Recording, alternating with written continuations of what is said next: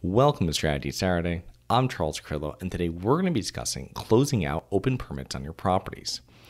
Recently, myself and another partner were selling several small multifamily properties, and during the inspection period, it was realized that there were several open permits from the city. And when you're selling properties or buying properties, open permits are really the last thing on your mind. But when it came to light, we worked over a two week period to get them all closed out. Easier said than done. Typically, you need to close out all open permits prior to selling a property, usually because the buyer and the buyer's attorney will require it, but in most cases, the municipality will also require it. Open permits, however, will not typically be revealed with a traditional title search or building inspection. It requires a municipality search to reveal whether there are any open permits. When the municipality search was performed by the buyer's attorney, they found five open p- permits over the different properties. Uh, three permits were from contractors that had opened the permits, done the work, but never closed them. One was from a tenant that was trying to make tenant improvements and they never did the work and moved out and one was from a contractor that opened the permit in the event they needed to perform the work on the property but never closed it. The municipality automatically, in this case, closes permits after nine years. But of course, I could not wait this long.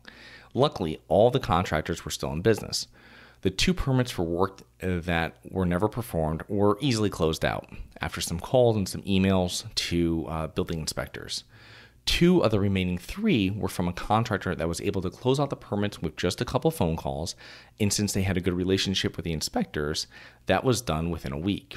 One, however, a roofing permit that was pulled four years prior, proved to be a problem. The building inspector would not close it out since he had not inspected the work and was not being very helpful in the process of us trying to close it out. After several calls and a dozen emails from myself and the roofing contractor, he made an appointment to come out and inspect. He never showed up for the appointment, and then he just requested some pictures of the work from the roofer, which my roofer sent, and he closed the permit a couple hours later. When you're dealing with city officials, you need to be very respectful and willing to work around their schedule. I have found out over the years that some of the rudest people work in these departments, and there's nothing you can do about it.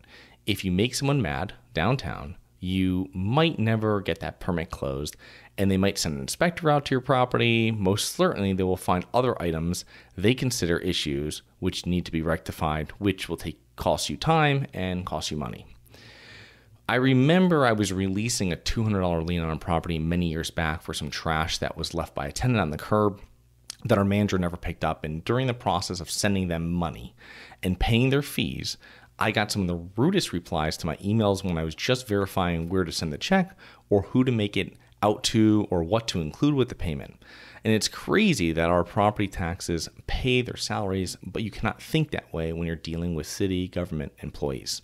Going forward, most municipalities have an online search function where you can search addresses to see if there are any open permits. I would do this when you put an offer in on a property and when you're planning to sell a property, sooner than later. However, I would check to make sure that every permit that is opened at your property is actually closed. Even if you have a property manager, like I did in this case, and this is part of the asset management process, but it was missed by our team. And next is don't release final payment to contractors until they have closed out the permits. In my case, some permits were opened without my knowledge. I would set a reminder to run a quick municipal search every few months to make sure that there are no open permits that will become a problem in the future. So I hope you enjoyed. Please remember to rate, review, subscribe, submit comments and potential show topics at globalinvestorspodcast.com. Look forward to two more episodes next week. See you then.